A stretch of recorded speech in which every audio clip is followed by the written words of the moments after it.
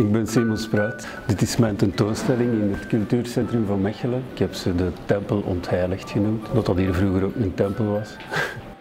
Wat ik heel vaak krijg is natuurlijk van, amai, dat is wel heel veel verschillende dingen bij elkaar. Maar dat is een beetje mijn stik. Elk boek dat ik maak is, is anders dan het vorige, grafisch en qua van manier van vertellen. En dat uitzicht dan ook in de tentoonstelling. Dat ik zo'n beetje heb opgesplitst per boek in totaal verschillende wereldjes. Dat zijn mijn laatste vier boeken, de boeken waar dat ik zelf nog het dichtst bij sta. Ik heb daarvoor nog boeken gemaakt, maar dat staat al wat verder van wat ik nu doe. En dat vind ik ook niet, niet representatief meer voor het werk dat ik nu maak.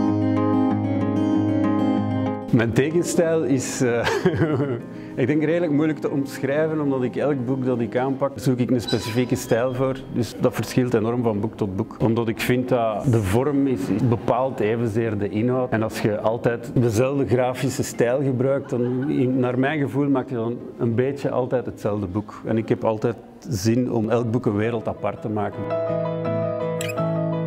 Ik heb graag dat er, dat er altijd wat humor in zit. Tegelijkertijd heb ik graag dat er ergens een serieuze ondertoon in zit. En het is altijd zo'n een, een, dynamiek tussen de twee. Als het te grappig wordt wil ik dat wat serieuzer maken. Als het te serieus wordt wil ik dat counteren met een beetje humor. Ik maak in het algemeen gewoon de boeken die ik zelf wil maken. In de hoop dat er nog mensen zijn met vaagweg dezelfde interesses die dat mijn boeken kunnen appreciëren.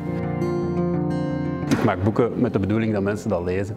En zo'n tentoonstelling dat is eerder kijken dan lezen. Dus dat is een beetje dubbel, maar ik hoop dat dankzij deze tentoonstelling dat, er dan ook wat meer boeken van mij gelezen worden.